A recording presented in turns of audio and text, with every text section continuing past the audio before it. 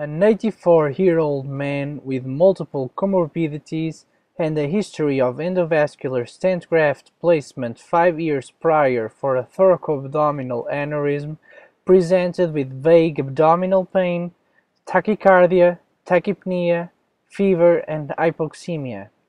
CT scan showed an infected aneurysm with no contrast extravasating into the sac. Blood cultures returned with Bacteroides fragilis. A minimally invasive approach was undertaken. CT scan of the abdomen in coronal view shows the stent grafts in place with surrounding infected aneurysm. Similarly, in the transverse view, the stent grafts and infected aneurysm are seen.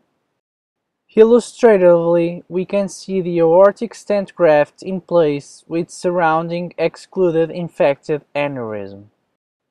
An endoscopic ultrasound was performed and the infected aneurysm could be easily demonstrated adjacent to the vascular aorta.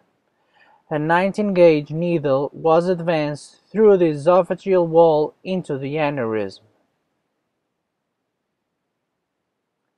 A guide wire was inserted through the needle and allowed to coil within the aneurysmal sac.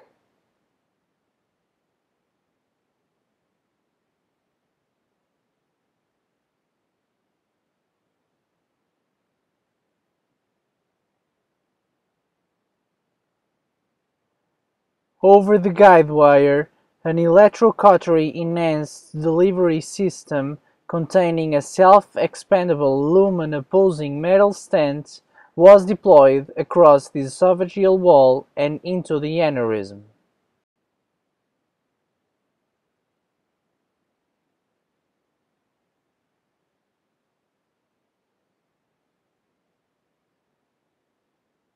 This endoscopic view is taken immediately after placement of the stent, and a large amount of pus is seen to pass from the aneurysmal sac into the esophageal lumen.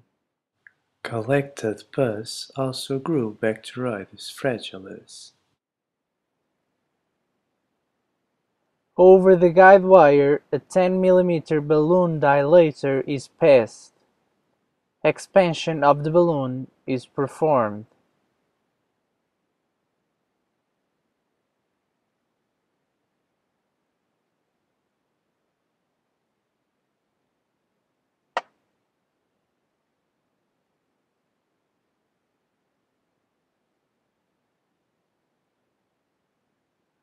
After removal of the balloon, the endoscope is passed to the opening of the esophageal stent where the aortic stent graft can be seen inside the infected aneurysm.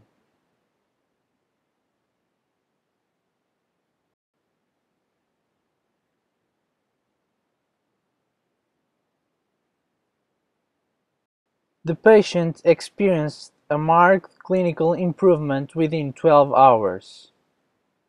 Follow-up CT scan performed 48 hours after stent placement revealed the lumen apposing metal stent in good position in the aneurysm adjacent to the aortic stent graft.